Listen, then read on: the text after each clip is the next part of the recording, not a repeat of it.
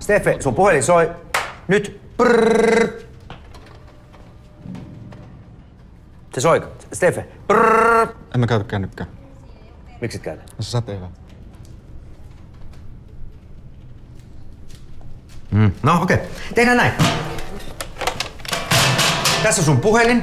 Tässä on sun puhelin. Nyt se, nyt se soi. Steffe, tää ei säteile. Prrrr. Se soi nyt. Se on Kimmo tässä lehtimyynnistä terve.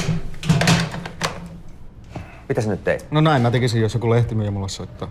Hei, hei, haloo, hei, hei. Tää on harjoitus, tää ei ole tosi tilanne. Okei, nyt, sä- nyt sä Kimmo, sä soitat ja alkaa alusta nyt. Prrrr. Vastaa siihen. Ootan, Mitä odota? se menee vastaan. Mene mihin? Mä odotan, että se nyt menee vastaan. Minkä takia sä odotat, että se menee No vastaan? en mä koskaan vastaa suoraan kenellekin, jos mä tiedän kuka soittaa. Mä odotan, että se menee vastaan.